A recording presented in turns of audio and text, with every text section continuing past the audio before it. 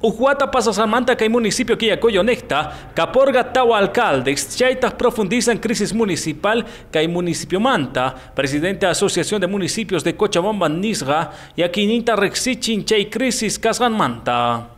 Chabamba tiene 48 municipios. De los 48 municipios, 43 municipios están eh, controlados o gobernados con alcaldes del movimiento al socialismo. De esos cinco municipios hemos visto realmente un desastre en la administración pública. Aquí en la alcaldía de Cochabamba, de cercados, realmente tan vergonzoso como se han eh, hecho la burla del pueblo de Cochabamba. Y en Quillacollo ni qué decir. Yo creo que este es un, un hecho realmente lamentable, vergonzoso para la familia municipalista. Estos concejales se han burlado de todo Quillacollo, están haciendo pasanacu, prebenda, corrupción, denuncias. Hoy hay otro alcalde.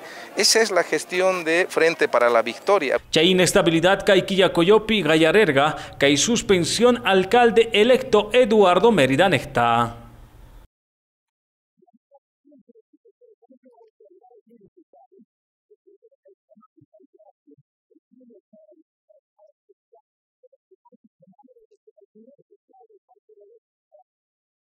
Pusag días falta Samanta que vence plazo convenio 22 puntos nisga entre alcaldía y mancomunidad cara cara, con fecha kama mana ejecutan kumanchu chay puntusta. Chay raigu anunciando que mana yaguchengancuchu casos basureros nisgata chay botadero man que nos indique qué es lo que va a hacer de aquí en adelante porque ya no hay espacio en el sector. No, hasta ahora no tenemos conocimiento de ningún proyecto que nos ha hecho conocer la alcaldía para ver el tema de ver cómo vamos a seguir, eh, si se queda el botadero o se va en realidad.